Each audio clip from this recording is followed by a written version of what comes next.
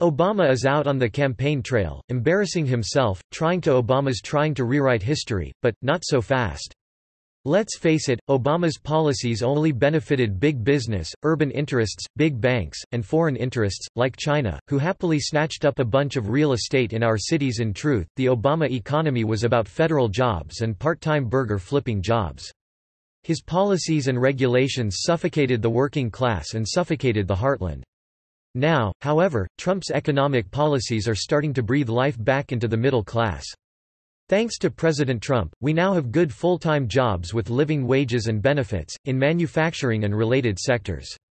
These are jobs all across the country, not elite jobs and federal jobs in certain progressive areas, like Silicon Valley and Hollywood.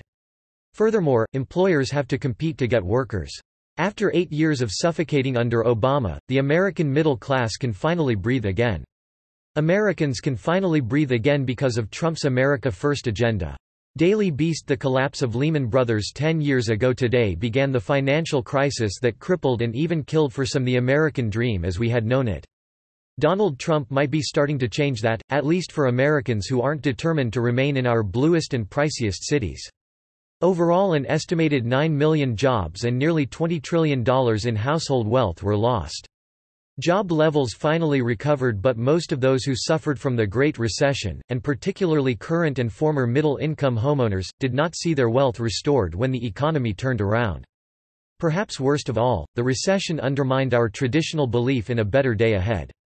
Just one in five Americans is confident that life for today's children will turn out better than it did for their parents. According to a 2014 survey conducted by NBC News and The Wall Street Journal, nearly three in five Americans expect today's children to be worse off, according to a 2017 Pew survey.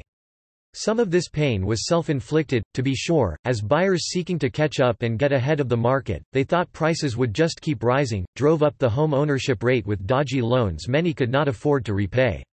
After approaching 70%, the rate is now back in the 63 to 65% range of the quarter century preceding the housing bubble. But there are two key reasons that most Americans still haven't recovered their wealth or position from a decade earlier, and that most young adults find themselves starting the race far behind, slow wage growth across the nation and increasingly unaffordable housing prices in the most expensive, and often most desired markets. Wages for working and middle-class people, at least until this year, have stagnated. Overall, only upper-income households have recovered financially from the Great Recession, while the vast majority of middle-income and lower-income households have yet to recover their pre-recession wealth, according to Pew. In the meantime, housing's costs have kept climbing, driven by conscious but misguided policies, particularly in coastal states, that have restricting new building.